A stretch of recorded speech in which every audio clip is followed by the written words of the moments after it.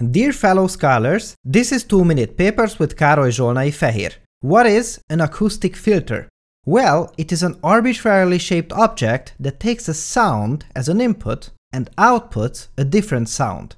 These filters have some really amazing applications that you'll hear about in a minute. In this work, a novel technique is proposed to automatically design such filters. It works by building an arbitrarily shaped object as a set of connected tiny resonators and chooses appropriate sizes and setups for each of these elements to satisfy a prescribed set of acoustic properties.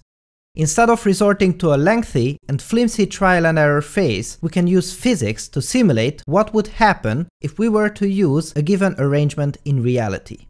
Again, one of those works that have a deep connection to the real world around us absolutely amazing. The goal can be to eliminate the peaks of the sound of a car horn or an airplane engine, and we can achieve this objective by means of optimization. The proposed applications we can divide into three main categories.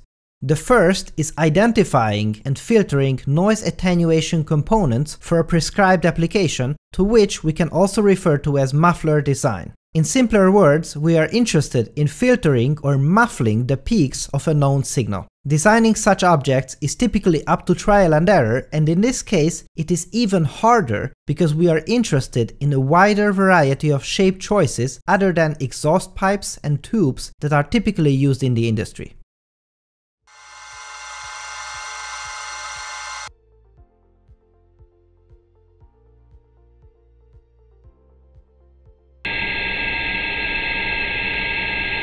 With this unoptimized muffler, the three peaks are not suppressed.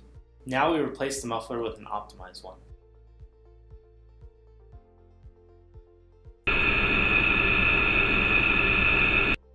The three peaks are more suppressed.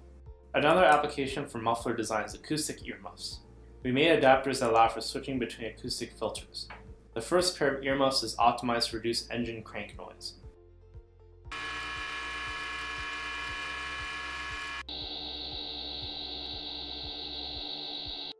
We can see the three peaks are now suppressed to a lower sound level. Second, designing musical instruments is hard, and unless we design them around achieving a given acoustic response, we'll likely end up with inharmonious gibberish. And this method also supports designing musical instruments with, hmm, well, non-conventional shapes.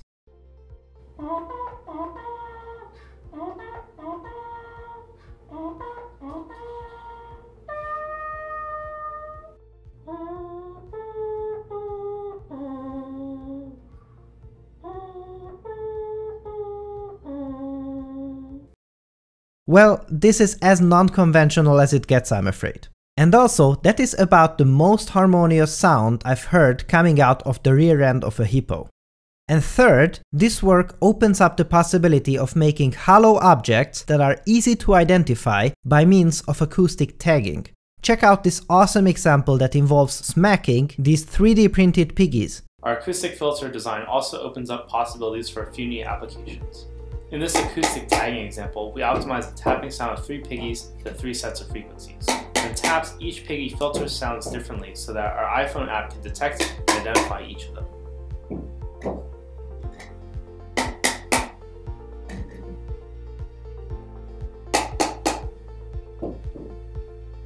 To go one step further, we demonstrate the ability to encode a bit string pattern. Making use of the fact that the iPhone has both the speaker and microphone at the bottom, we modulate the input white noise to encode different bit patterns.